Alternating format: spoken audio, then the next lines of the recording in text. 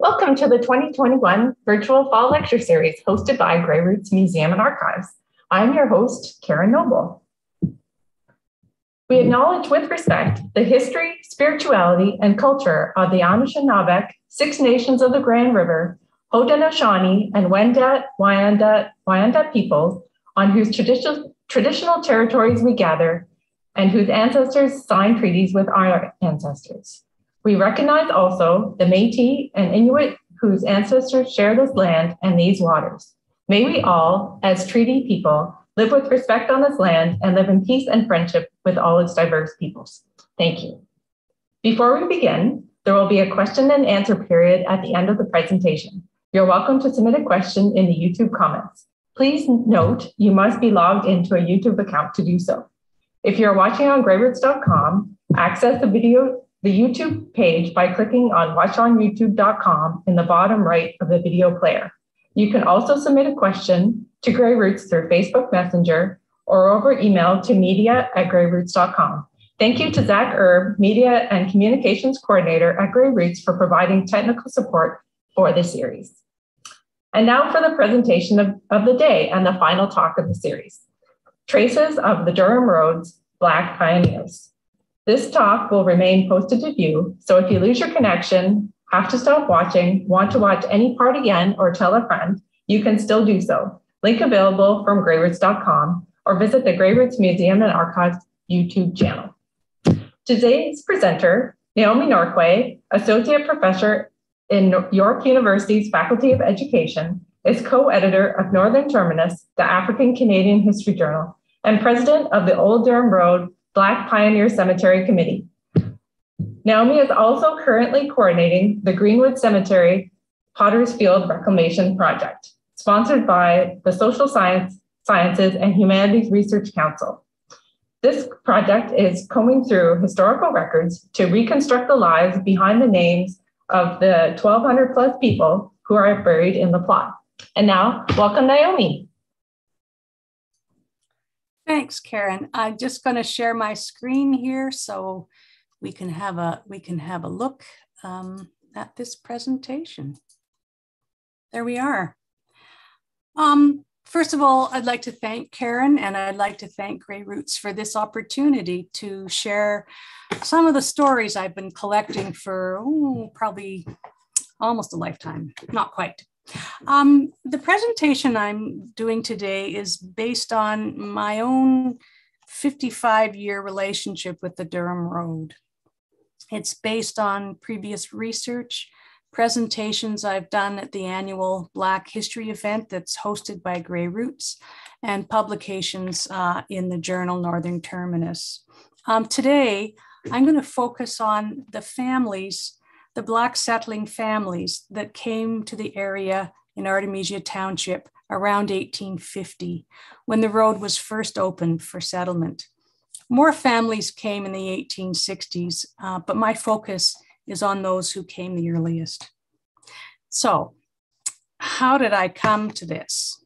In the mid 1960s, when I was a child, my parents purchased three 50 acre lots on the south side of the Durham Road we learned from an elderly farmer neighbor about the black preacher who owned our place.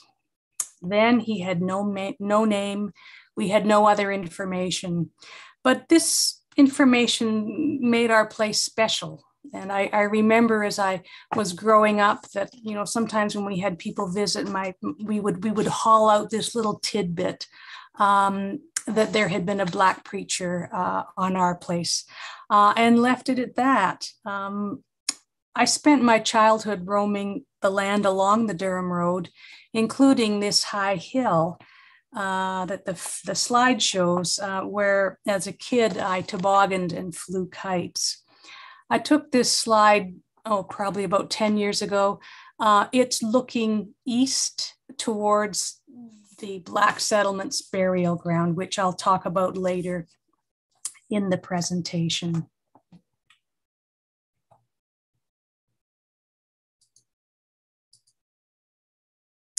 So, the Durham Road.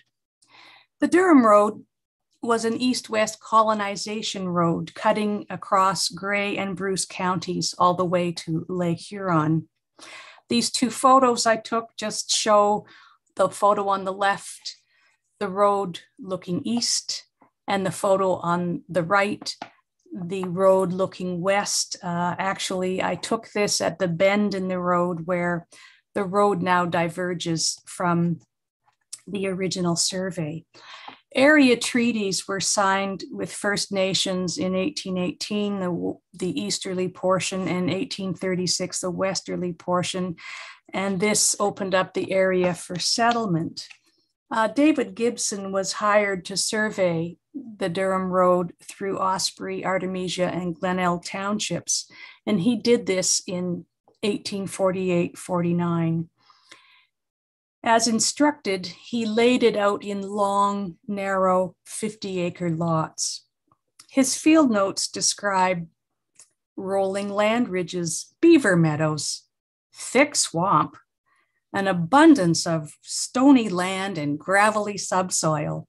He cautioned in his notes timber unfit for settlement, very wet, bridging required. I've got two maps here that have helped me think about the community. The, the map on the left is from uh, 1880 Atlas of Grey County. So basically, it shows the area roughly 30 years after it was surveyed. I've marked that, and if you can follow the arrow here, I, have marked the Durham Road uh, in yellow. This was the original Durham Road. Here it kind of had to diverge around some swamp. Uh, I came along, went into Priceville, and so continued all the way to Durham. But you'll note that there's another road here called the Durham Road. And this was um, the, originally the Collingwood Road. It was the road that connected uh, Flesherton um, and the Toronto Sydenham Road to Colling, Collingwood to the east. And you can see that it kind of cut at an angle.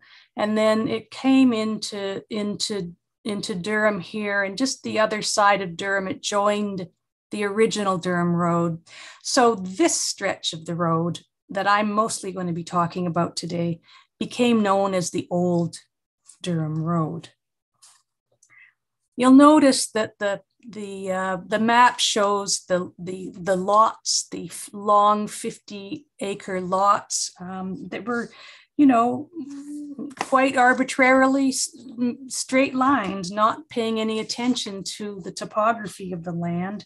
And that meant that um, in terms of settlement, there was no guarantee of arable land. It was really luck of the draw. So if we look here at the, the topographical map, which is a, a, a, more or less modern map, um, you note I note a number of things. Uh, first of all, I'll just orient you to the Durham Road, the old Durham Road. It's this one here. There's the bend where it, it made a diversion.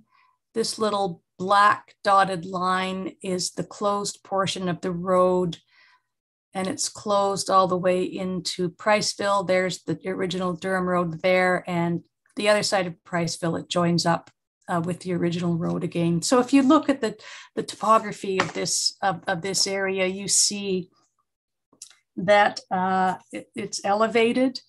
There are very high hills, drumlins, eskers, um, basically hilly land with some flat bits in between, you might say. It's also very swampy lots of swamp, lots of little streams, and of course the Saugeen River here. Uh, and of course, waterways would have to have bridges over them. Um, swampy land is actually the hardest to clear. Um, the next photo, this is of, I've taken some current day photos of the closed portion of the road. The one on the left um, looks uh, east to Priceville and the one on the sorry west to Priceville, and the one on the east looks east to the cemetery. Um, the these roads, uh, they're filling in, uh, but uh, they're still discernible uh, if if you walk along. So who came? Who came? Many of these Black settlers uh, were coming to Canada to escape the heinous institution of slavery, which had been outlawed in British North America in 1834. Uh, so Blacks came before that time because in 1793, uh, it was forbidden to um, import any new slaves we or enslaved people. We had people in slavery in Canada up until um, 1834, but after that time, uh, when it was abolished, it became a, a, a, more desirable location for those escaping slavery to the to the south of us.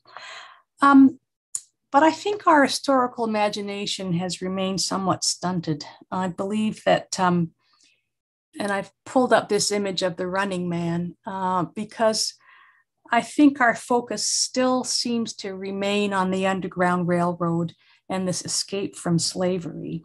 And this is a, an image you'll see today um, to note that uh, escape. Um, and while the details of escape are, are clearly important, my focus is on African Canadians as settlers. So, who came?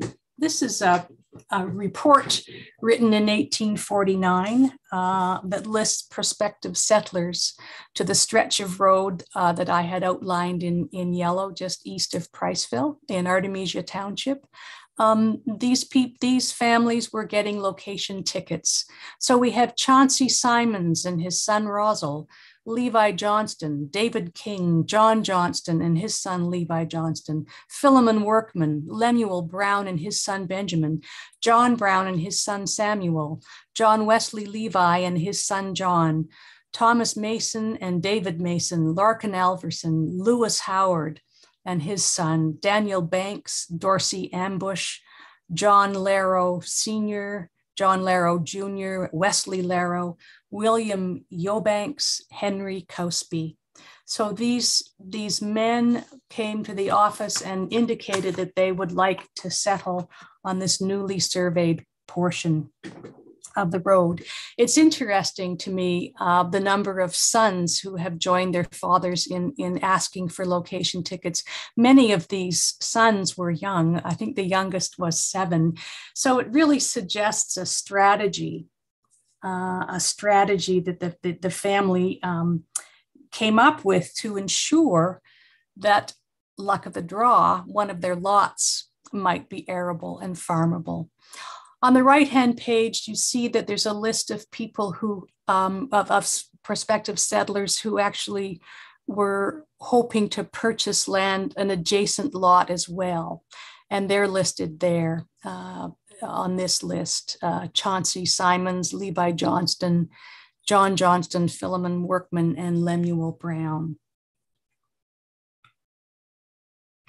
So here's an example of a location ticket that would be issued. This was for James Handy.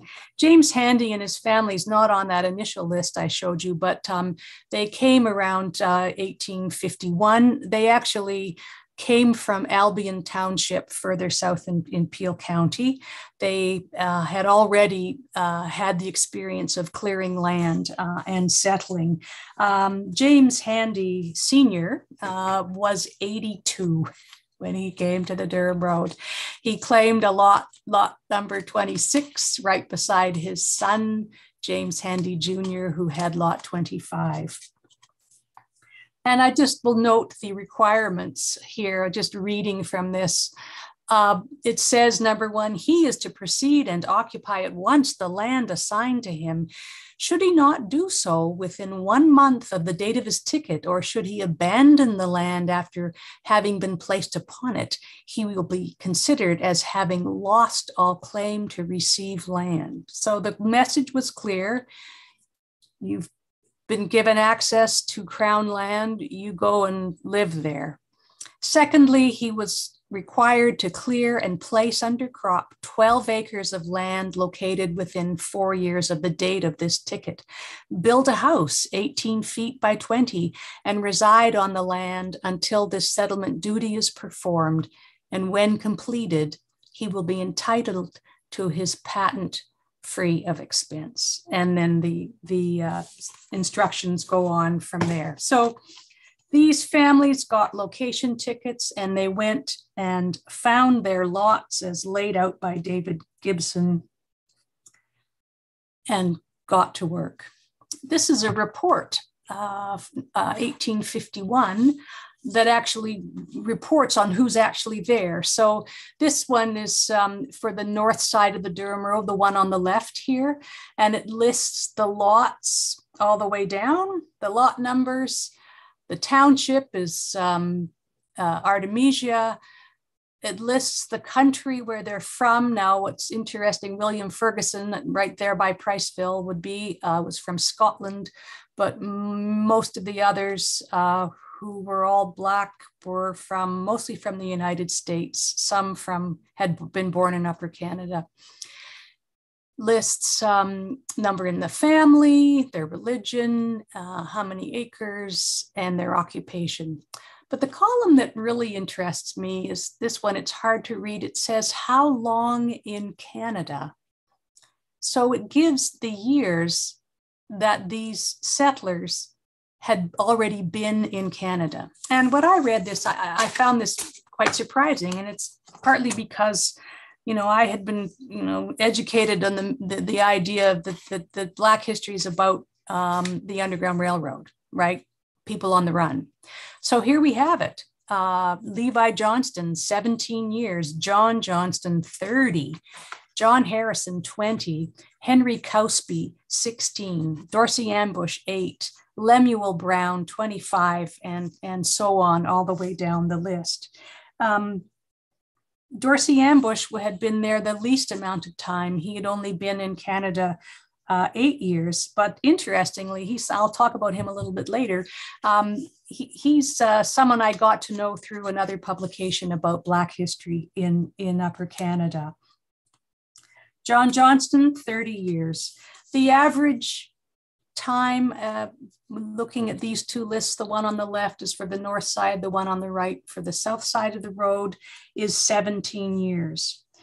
So all of these men, and I'm, uh, I'm going to start saying families, even though it's the men who are listed in these documents, these families had been in Upper Canada for quite some time by the time they came and moved to Grey County. Many of them were actually part of the Queensbush settlement. And I've, I've, I've put here the, the cover of Linda Brown Kubisch's wonderful book on the Queenbush, Queensbush settlement, uh, which was written a number of years ago. Um, basically, the Queensbush settlement was sort of west of Fergus in Wellington County. Um, and in this, in this particular settlement, in the in the 1830s, in some cases even the 1820s, the the the f- people were encouraged to come on squat to come and squat on land that hadn't been surveyed. So when you squat, you're you're living on land that you don't actually have legal access to. Um, so settlers they had they had signed treaties with the First Nations. They wanted to open up this area, get people in, get settlers in, but they hadn't surveyed it. So they invited people to squat. So people came, uh, all sorts of people came to this area. And then when they did finally get around to surveying, of course, uh, they, they found, for example, that two squatters were on one lot or you know people were not necessarily placed in relation to the to the lot lines. Uh, but further to that, at that point, there for some there was a policy that people had to buy their lots. And so what happened was when these these people and, and other settlers there as well, I've, I've listed here all the all the families um, who came to the Durham Road who also were in the Queen's Bush um, they were invited to buy the land they had cleared and improved. But the irony was because they had cleared it and improved it, the value of the land had gone up. So in these petitions, they're petitioning to be allowed to pay for their land in installments. And the petitions are denied. There, there, there actually were four. Uh, there was one, I think, in 1850 as well. I just went through them and found the names of the people who came to the Durham Road. So these these men and their families already had had all that skill, learned all that skill of clearing land, farming, and more importantly, I think making community. So when they came to the Durham Road, uh, they had already uh, proved themselves to be upper upper Canadian citizens. Um, one of the uh, the the things that that uh, came to um, challenge their their getting their land in the Queen's Bush is that they all were told they had to be British citizens. So there's uh, an interesting uh, uh, list of citizenship from 1849. Most of these men went to Guelph um, to get their citizenship, um, their allegiance to the crown, and then went straight to the the uh, location office uh, to get their location tickets. I'm going to just talk about a little bit about um, a way to frame the community. Um, often, um, the kind of oral history and the conversation I've heard over the years is that the Black community, the Black settlement came and went away very quickly. Um, and it's almost as if I, I hear people say it as if they were misplaced. They were in the wrong place. It was too cold. They they weren't farmers. They didn't have those skills. They went away. They went to Owen Sound. They went to Collingwood. Um, and of course, my research has found that this isn't entirely the case. So I turned to uh, Canadian uh, historical geographer David Wood, who wrote an interesting book called Making Ontario. Uh, and he posits three kinds of settlers. So we think about settlers going to the frontier, wherever the frontier is, wherever treaties have been negotiated, well, also where they haven't been negotiated, but where treaties have been negotiated, the areas get opened up for settlement. That becomes the frontier. So he talks about three kinds of people, settlers transients, sojourners, and persisters. Transients usually leave within a couple of years. They're, for the most part, young men who follow the frontier to work in the intensified labor market uh, that the frontier provides. Makes sense. Um, Daniel Banks, who got a, a location ticket, uh, he was barely on the Durham Road before he moved. He moved and uh, was in Oro Township. So that's one example of a transient the sojourners uh, tend to stay seven or eight years and then they leave. And these are usually families who get a location ticket. Uh, they fulfill settlement duties. Um, and for a variety of reasons, um, move. Um, the thing about when you get crown land for free, once you've you know once you've uh, done all the settlement duties, then often people would some people would sell their land and then continue to rent it because by selling their land they get capital so in some cases um, you know people sold their land and then remained as tenants. Or they sold their land um, to gain capital so they could go somewhere else. Uh, why did people move? Well i think we saw from the topographical map um, they moved when their land was of poor quality. They moved when there were other opportunities for employment that were opening up, which was certainly happening um, in Owen Sound and Collingwood, which were port towns at the time. Um, so they moved there to uh, places that are going to offer a more stable livelihood. Some of them uh, move because they never get title to their land or, or that they've sought more land and haven't been able to acquire it. And an example of this is Larkin Alverson. Uh, his 50 acre lots, aside from the little corner he had as the community burial ground, was, was just drumlins and hilly and gravelly.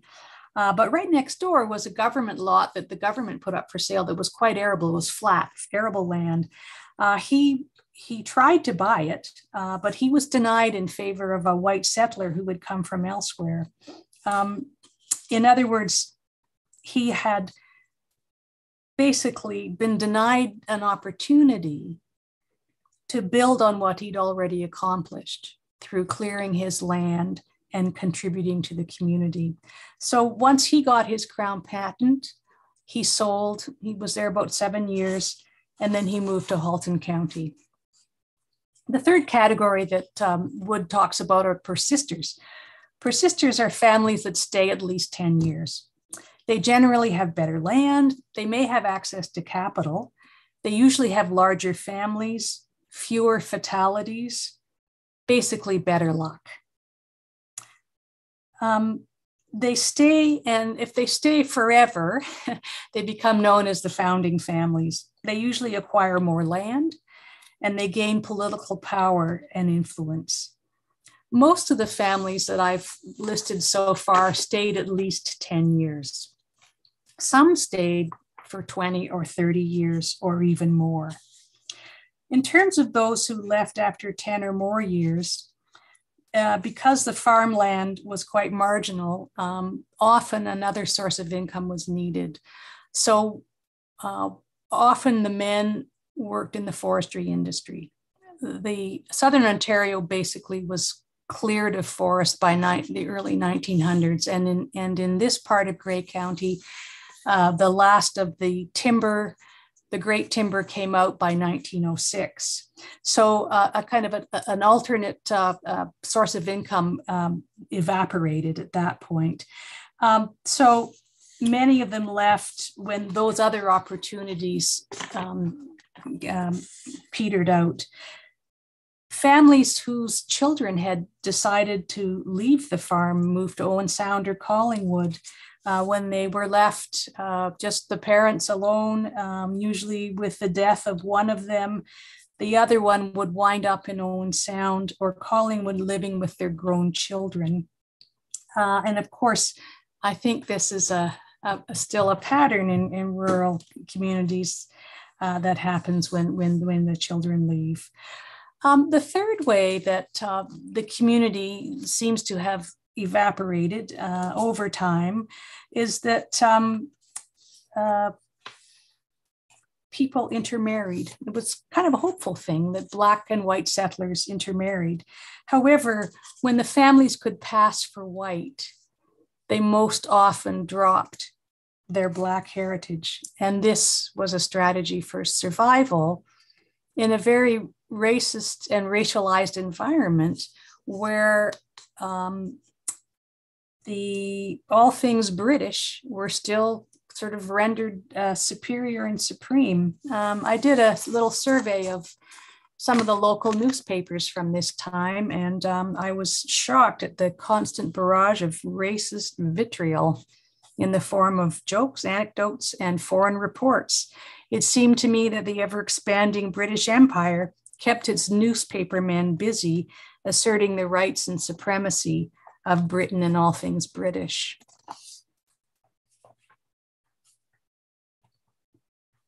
Regardless of how long they stayed, they were committed to community. So here's some example of community building. Dorsey Ambush was a healer and a preacher of the gospel. John Wesley Levi was the police constable in Priceville. James Handy Jr. became a school trustee.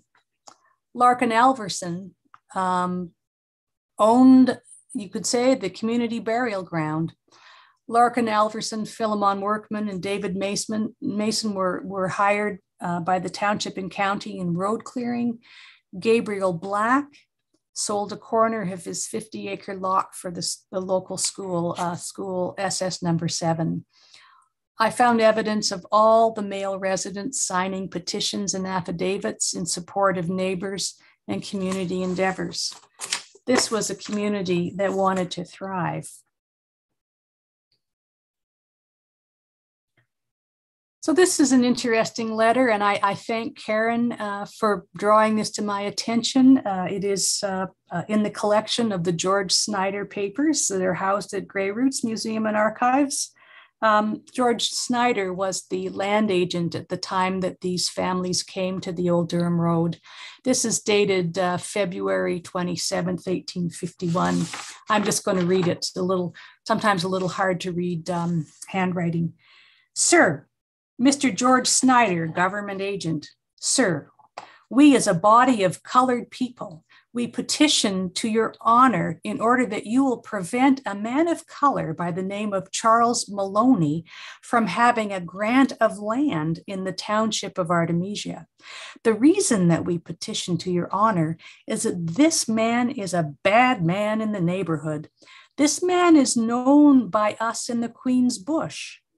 The agent, Mr. Jackson, on account of this, refused to let this man have a grant of land. Sir, your petitioners, petitioners will ever pray. John Wesley Levi, Dorsey Ambush, James Handy, Larkin Alverson, John Brown, David Mason, Lewis Howard, James Jackson, Philemon Workman, Lemuel Brown, John Johnson, Levi Johnson, Chauncey Simons, Gabriel Black, Franklin Crawford, and James Handy. And on the fold of the letter, it says petition and letter of John Wesley Levi, and others, wishing me to not give a grant to Charles Maloney. And that's in um, George Snyder's hand. so I love this letter. I mean, okay, it, it, it, suggests a number of things. One of the things it does confirm that many of these families were in the Queen's Bush settlement. Okay, they're talking about the land agent there, Mr. Jackson, and how um, you know, they, they, got him to refuse Charles Pearl, Charles Maloney a grant of land. So that's one thing. But the but the other thing about this letter, um, for me, is that it does suggest they valued their newfound stability. They wanted community peace and they wanted community respectability. And for whatever their reasons, Charles Maloney was one person that they they didn't want to have in the community. Um, I, think that, um, and uh, I, you know, I think that I think the, the, the other the other piece here, of course, is that um, not all these men were in the Queen's Bush. The Handys weren't. Um, uh, Chauncey Simon wasn't, Gabriel Black wasn't. Uh, but it's interesting that they, they they they came together with their neighbors and and and put this petition together. To my knowledge, Charles Maloney was not given a grant of land, uh, but um, I haven't. I, I'm sure I could do a little more research more to confirm that. Yeah. So one of the challenges in this kind of research when you're trying to you know get a sense of a community is that the women kind of disappear. They're not um, on the land registry documents. They're not on the location tickets. They're not the ones signing the petitions. Um, you do find the women are in the census. That's how i found their names. Uh, they are when we had them uh, marriage records and birth and death records. But otherwise they seem kind of invisible. Uh, so I wanted to just think about the women and their contributions uh, to, um, to community. I mean, they were all involved in the backbreaking work of clearing land, planting crops, keeping the home fires burning, preparing meals, and in bearing children. Uh, while looking at the, uh, the census documents for most of these women, they were having children every two years. Uh, and many of them had very large families. Charlotte Handy had at least nine children. And of course, we remember that uh, both women and children die in childbirth, children die in infancy and in childhood. So I mean, it's not just for the women, but you know, there's also that emotional toll on a community is when its children die. So I just wanted to mark these women, um, and they they they twirl around in my head uh, sometimes, and I, I, like to think of them. Mehetabel Simons, Clarissa Workman, Phoebe Brown, Elsie Black, Charlotte Handy, Jane Brown, Anne Levi, Mary Rose Cosby, Rosetta Howard, Maria Jackson, Sarah Johnson, Charlotte Mason, Eliza Washington, and there were others, but these are the ones that um, I've, I've included. I've included today. Okay. So historic documents are great because you get names and you get demographics you get that kind of information you, you know with the petitions you un- get an understanding of what they cared about what was going on. But what i don't have access to uh, for the most part are family papers or, or, or photographs um, you know letters diaries journals that kind of thing. For the most part these aren't documents that have made their way into our our museums and archives. And so I've had to really think about how I can animate this community. And I did do an oral history project in 2011 12. Um, in that project, talking to local people, I, it, I came up with a handful of stories that they all they all told the same stories because these were the stories that had found their way down uh, to them from their their own ancestors, their parents and their grandparents. And the stories were very general, like um, we remember walking, or their grandparents remember walking down the road and hearing the beautiful singing coming out of the little church. Lovely. Um, but in terms of sort of specifics about community, there wasn't a lot. And so I, I went to the land to kind of find the remnants. And of course, the, the first place and the, and the kind of key place to go is to Grey County Road 14 and the old Durham Road, which here is called Durham Road B. This is looking east. On the left of this photograph is the burial ground that was uh, in the corner of Larkin Alverson's lot. And on the right is the schoolhouse, uh, the land having been sold by Gabriel and Elsie Black. Actually, Elsie's name is on the document, which is kind of cool. Um, that they they sold the land for the schoolhouse. So let's just say a little bit about the schoolhouse here. Um, the, the school that first served the community was farther west towards Priceville on Lot 11, and roughly from about 1856 to the early 1860s, there was a little log schoolhouse there with a, a Scottish schoolmaster. The schoolhouse served the kids on the the old Durham Road and in Priceville. And then around about the middle of Price uh, of 1860s, Priceville got its own school.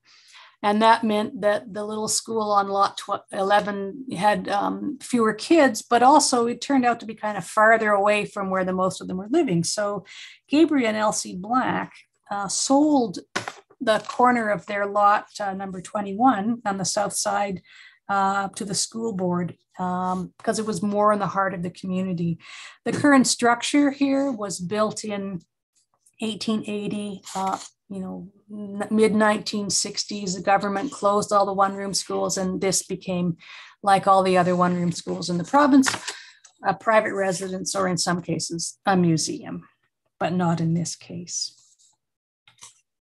The old Durham Road Black Pioneer Cemetery, as it now is known, this was the sandy corner of Larkin Alverson's very hilly lot. And at some point, he allowed his neighbors to bury their dead here. And like most rural burial grounds, at this time it was unregistered and was on private land. Um, and it basically was owned by whoever owned Lot 21. So when um, Larkin Alverson sold uh, in 50, 1857, uh, the, next, the subsequent owner allowed people to, to continue using the burial ground. And the, the understanding is, is that there were burials there till sometime in the 1880s. Um, fast forward to 1930s, the farmer who owned the burial ground, which was, you know, now not having burials and it had been for, you know, probably 50 years, uh, inactive in that sense, uh, stones perhaps falling down. He decided since he owned it, he would farm it and he removed all the headstones and plowed the land for crops. Um, some of the stones were thrown in a rock pile behind the cemetery and the rest disappeared. Um, and this uh, community collusion uh, allowed this to happen. Uh, neither the county nor the township said a word. But by 1989, a group of local people realized they really had to right this community wrong. They all knew, everyone knew there was a burial ground there. So they approached the landowners who agreed to portion it off and give it to the township. They got it officially registered as a cemetery and they found four headstones um, in the rock pile behind the cemetery. This is the monument that was built in 2015. It, it's a permanent structure that uh, houses the, the four stones. I've just got one picture of a couple of a couple of pictures here two of them here james washington who died in 1856 and james handy whom i've mentioned the 82 year old who came in 1851, and he died in 1863. He was 95. Uh, clearly, the griot uh, of the community. Um, so these are lovely remnants of the community. They're they're you know anyone can come. Well, the schoolhouse is private, but anyone can come to the cemetery and, and have a look. And, and I really hope if you haven't visited that you do. The other place that I've looked, um, and this is, happens in the spring as I've I've looked um, on my place and, and other people's places uh, for stone foundations. Um, the photo on the left is probably where uh, the black preacher, uh, whose name was Edward Patterson, had his home, and the photo on the right uh, is right near a spring, and it's another part of my family's property, and we think it might have been a, a a cooling shed for milk. We're not sure. Um, but these, um, these are remnants of this community. And one of the things that I, I really uh, like about both of them is that when I when I kind of poke around in the foundations, I, I find little bits of mortar. And here's some ones that I pulled out. Um, if you're in from this area, you know that it's limestone, and you know that in the past, many farms in the area had lime kilns. So the mortar was made from fire, locally fired limestone that was mixed with sand and water, sort of like the Romans did it. Um, so, and, and, to me, the the the, the mortars kind of for become a kind of metaphor for community, the you know the things that hold us together, right, that keep us connected associated with this, uh, with the Black preacher's home, um, are shards of crockery that are likely from his family's kitchen midden. Um, I find these in my garden every year. Frost heave. I love the spring. Frost heave brings these little little gems to the surface, and I've, I've actually established quite a large collection. Um, these are all mostly blue willow pattern, but I'll just point to this one here. That's a clay pipe.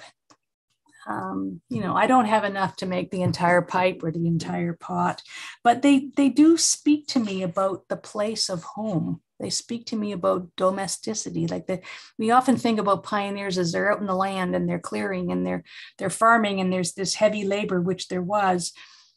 But then I find these little shards of blue willow and I and I think about that that interior home space and maybe a cup of tea.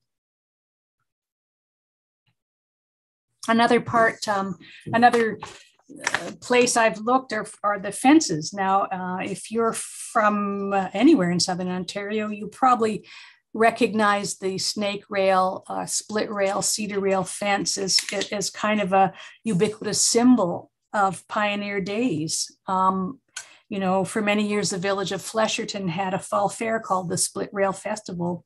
Artemisia's official history is the split, is the split rail country book. Um, I have a pet theory about these fences. Of course, on the frontier, they're the easiest to build because they don't require posts. You just, you know, you, you get the the posts zigzagging like this. So they're easier to build. They're, they were built with the lumber that was being cleared out in Grey County. There was lots of white cedar and white cedars easy easier to split than elm, uh, easier to split. Uh, and of course, the, the, the, the, quality of cedar means that it, it, lasts and lasts and lasts. So these are two fences. The one on the left is on my property that separates uh, Edward Patterson, the Black Preacher, from Chauncey Simon's place. Uh, um, and this one on the right is actually in Glenelg uh, Township. I love this fence. You see the farmer's field here.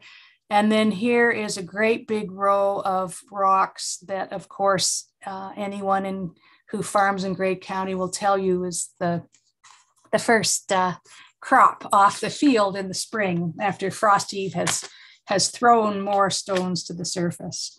Um, my, my pet kind of theory about this is the snake rail fence is believed to have originated in, in Virginia, okay, when Virginia was being settled and cleared. Um, and so I'm, I'm guessing that Blacks coming from the States, certainly from any area of the States where there had been frontier, um, where had been the frontier, uh, Blacks coming from other areas of Ontario would have known how to make these fences. Uh, probably not a fence one would see in Britain since they lost their forests, you know, hundreds and hundreds of years ago. So I, I, for me, this snake rail fence is a symbol of black settlement. Of course, the other sort of remnant of this community and, and other settlers are the wild apple trees. They, they line the, the fence the fences and the road allowances all along the Durham Road. I, I, am surprised every fall when I come go along and I I see all the different apples growing uh, on these trees. Of course, these are descendants of the original ones. Um, I think it's important to kind of place the apple tree in on the frontier and in these pioneering homes is that that um, the apple apples were grown um, and actually in some places in the states on the frontier you, you had to plant apple trees. Apple cider is safer than water in many times of the year. And so these trees were grown for for making cider and also making cider vinegar uh, because cider vinegar was a disinfectant and a preservative so uh, i guess that's um, for me the the the you know, I, I, I think about cider making. I think about the apple trees as as a, as a lovely kind of symbol of community. The ways in which uh, these families lived together, worked together, and celebrated together. They worshiped together. They valued education. They sent. They wanted their kids to go to school, um, and they really, really worked hard at making community. And just to end, I guess I you know, I'm I'm feeling it particularly today with the the new variant we're we have now uh, amongst us. I, I, I feel we're in this sort of the state of perpetual uncertainty. And um, you know, one of my coping mechanisms for right now um, is to think of the things that I know are for sure. And a couple of the things that I know are for sure is that next spring, when I go out to my garden, I'm going to find some more shards. I know for sure that's going to happen. And the other thing I know for sure next spring is that all the apple trees along the old Durham Road are going to blossom and make me very, very happy. That's the end of my presentation. Thanks for being here with me. And um, I will welcome any questions now or if later you think of them, send them to Grey Roots and I'll get them and I'll I'll answer them. So thanks very much. Thanks so much, Naomi, uh, for your talk and all the work you uh, put into preparing. Um, if someone's doing research, do you have any uh, thoughts about what your most fruitful source has been or uh, fruitful sources? Okay, yeah. I mean, it depends what kind of research. Um, certainly, I learned that the land of the people I'm researching, the, the actual community has been a really wonderful place to go and learn. Um, because the archives have been, sorry, but at, you know, when they were closed, I I had relied on archives. I had you know come to Grey Roots and looked at the land abstracts and and the books you have um, on the, the, kind of the land record um, those or, or personal papers that are held in local archives um, where the archivist knows that if you look in so and so's papers you'll learn something. So the, the archives are always the best source. But if you can't get to an archive or if they're closed, as uh, they were for much of this last year, I found um, the online sort of genealogical um, resources. National Archives of Canada has all the the census says up to 1921. 31 should be coming out soon. It's they're all searchable. Uh, you go to the uh, Mormons uh, website, Family Search. Um, it's free. You can access all of Ontario's um, uh, death death records, birth records, marriage records uh, quite easily. They're th- searchable as well. So those are places to start. Did I say anything else? Um, read other people's research. Even like I, I found works. Um, I wish I could haul one out here, but I, am not going to find it you know, I've, I've read, I've read um, books on, well, well, you know, geography. I've read books on, you know, old recipes, things that will give me a, a taste for what life might have been like. Yeah, and definitely gems hide in the footnotes. Yes. reading for sure. And um, are there, uh, you, you mentioned uh, a lot of names and uh, professions of people and, and some details about um, various uh, pioneers. Are there is there any pioneer with a unique story or for whom a special resource with you know it was kind of a gold mine or kind of a surprise that kind of information was recorded or is there any ones that stick with you well, I, I, I, I, have mentioned the black preacher. He, he I didn't um, uh, focus on him. His name is Edward Patterson, and um, you know he was just the black preacher. We didn't know his name until I got to the Great Grey Roots archives and found him in the the land abstract. Um, but then I I wasn't sure if it was him or the guy after him, right? So, uh, but uh, uh, uh, uh Greta Kennedy, um, another researcher up in Great Grey County, found at Grey Roots a photograph of Edward Patterson and his family Bible. And those, those two artifacts just, you know, just they kind of ignited in me this this beautiful sense of curiosity and joy that I found something really tangible about somebody. So he's he's um, somebody that um, I was able to once I had his name, I was able to find him in in the census and you know his marriage certificate and his death certificate and his obituary and all those things uh, came to light. Um, he's a really neat connection to Owen Sound because um, he actually first arrived in Owen Sound, I think around 1860, uh, maybe a little before that and he he mostly lived in Owen Sound, but he bought acreage on the on the on the Durham Road, um, and uh, actually bought a few acreages, sold sold some of them, kept some of them, and he and his family basically spent time on the Durham Road and in Owen Sound. So he's kind of a cool connection that way. Don't know if there's.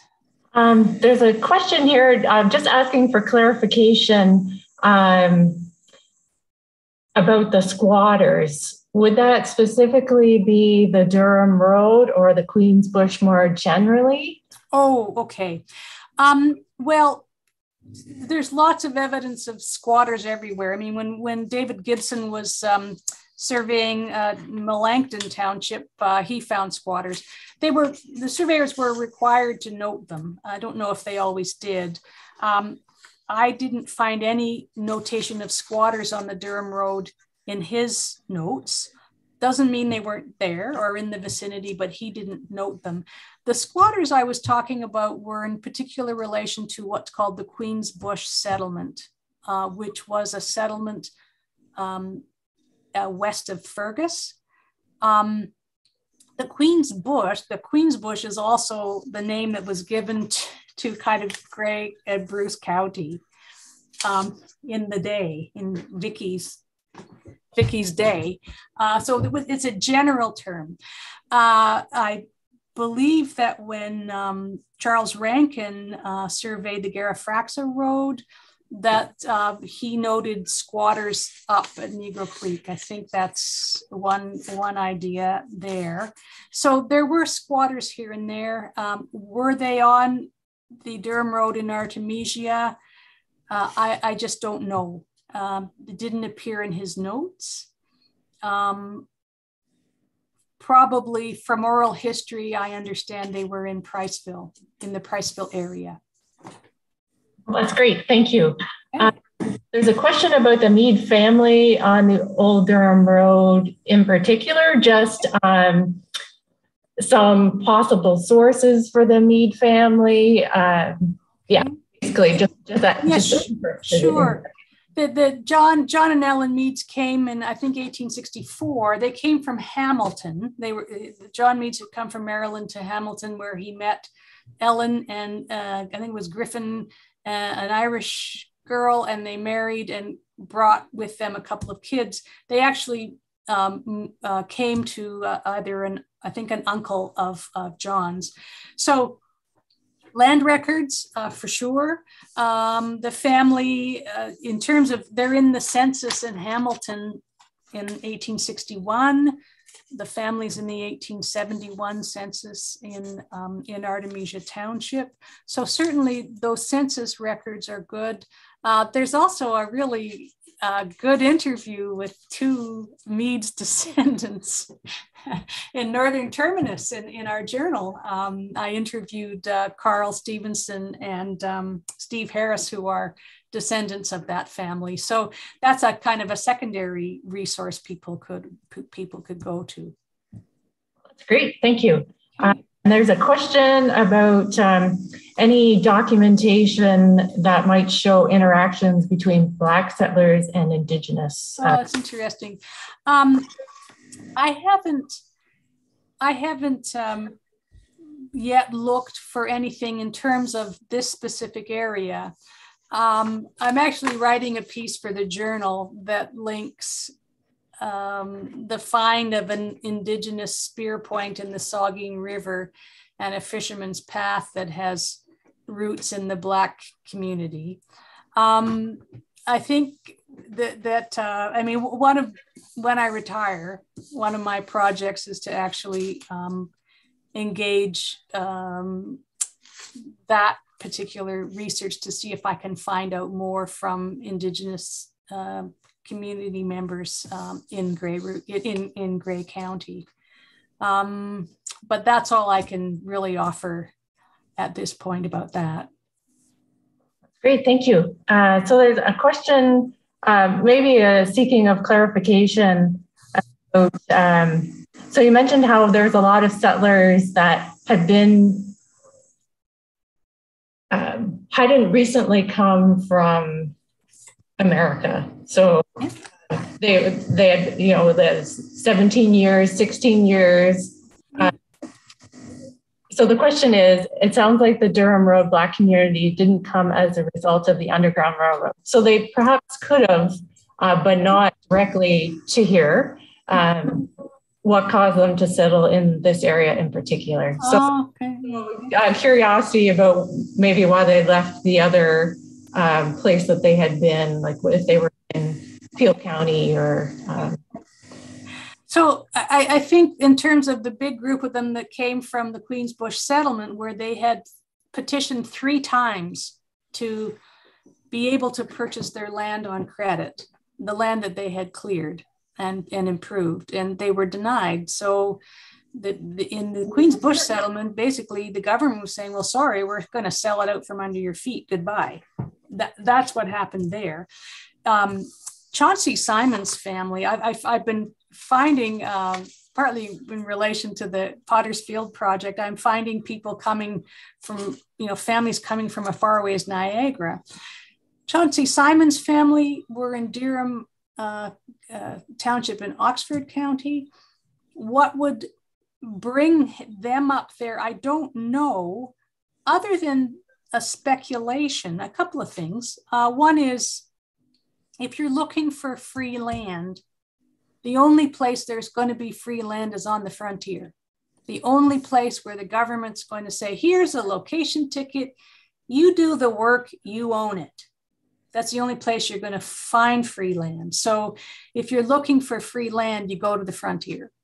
But the other thing I think, um, uh, and I don't, again, it's just document. I keep finding people in this community visiting people in other places.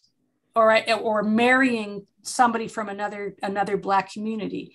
So i get a sense of um, a kind of a network amongst the black settlers. It's i mean lots of lots of immigrants had networks right? But uh, this is what i'm studying.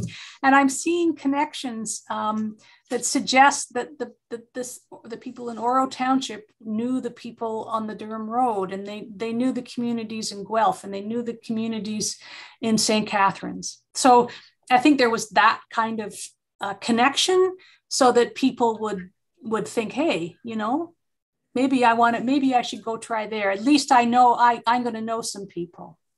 That could be what it is, partly, partly what it is. That's great. Thank you. And um, just curious if you found any interesting connections between your Durham Road research and the Owen Sound Greenwood Cemetery Potter's Field project. Yes, yes, lots actually. Um, I, I, want to premise this by saying that um, the, the, the, the, the notion of in the indigent plot or the potter's field, the place where where the state pays for the burials and this you know dumps people in the ground and forgets about them. Um, you know that kind of image of this this shameful place to be buried. Um, i'm not getting that when i'm doing the research on the potter's field.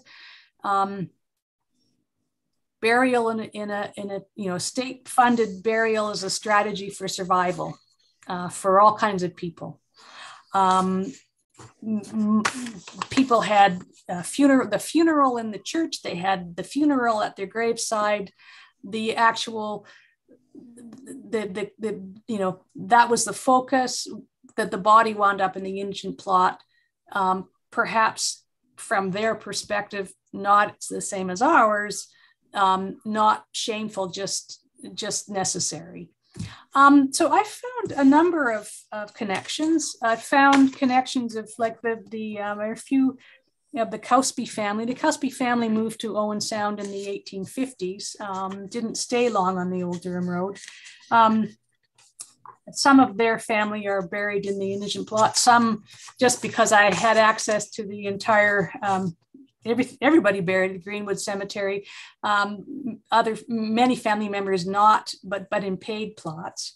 Uh, a lot of the um, people in the indigent plot from the Durham Road, I think I mentioned, um, were elderly people who had you know had to leave their farms, come to Owen Sound, either living with family there or as the century progressed, the jail became basically became a, a, a, a refuge home for the elderly, the poor, the poor and the elderly. So some people uh, along the road, like Charlotte Diggs, who you know was widowed for 20 years 10 10 15 years and she was she farmed as long as she could on her own and uh, but she eventually wound up in the jail uh, as a place of refuge uh, and when she died she was buried in the plot so there there are connections like that um, uh, james handy seniors buried at the the cemetery on the old durham road um, his son uh, moved when his wife died, and we're assuming Charlotte's in the old Durham Road Cemetery, but we don't know because we don't have the stones. What can you do? Um, we assume she's there.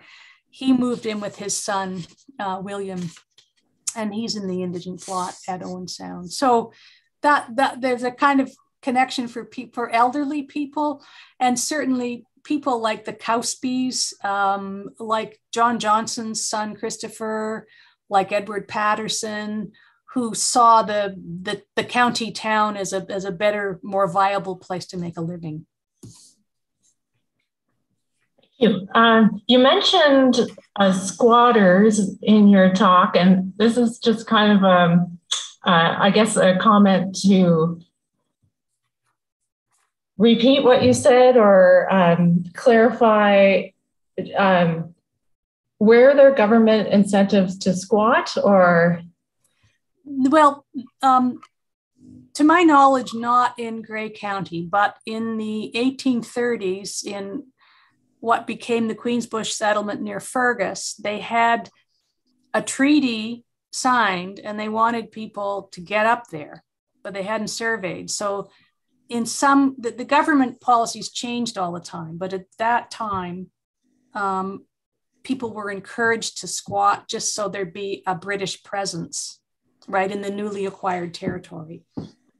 I don't, I, the squatting happened everywhere. Actually, I, I, re, I remember now I was looking at a, a map of, and, and, it's not just black settlers, all kinds of people um, squatted. Um, you know, went knowing the land was going to open up. You know, we're squatting so they could, you know, be the first ones there at the door, I guess. Um, so there, there's were squatters everywhere, and over time, less and less uh, tolerance for it um, as land became, you know, harder to come by. Um, and as um, settlers, people who came who had the location ticket, who had the right to be there, not, of course, not being tolerant of, of if they found people on their on their lot. So I guess, I mean, I, I was hoping to find evidence in um, Gibson's field notes of squatters. I didn't. In the letters I've read that he wrote, so far, no. There may be more letters um, at the Gibson House in Toronto that should they ever open again. I could go and uh, sorry, I didn't mean it like that. should they open? When they open, I, I, I'm going to go and have a look and see if there's somewhere else that he talks about squatters. Um, I have oral history from a descendant who's who understands that um, this, the Saugeen River itself was kind of a corridor, um, and that uh, and and also uh, just that that people in the settled in the in the Guelph Fergus Wellington area had lots of ways of coming up uh, into the Priceville area before any roads were surveyed, and and there is oral history that suggests there was a very small black community there so far, nothing in the in the books. I think I think the other comments are thank yous and uh, that they people enjoy the information, and definitely there's a lot to digest there. And uh, yeah, again, appreciate so much for putting this together and okay. your willingness to do it. Well, it was it was fun, and you know, I was to be. I think I said earlier, Karen, I'm I'm well, I guess it stopped snowing here where I am in Toronto, but I was kind of happy I wasn't, you know, driving up through a November snow event. Yeah, it's a great day for a virtual talk.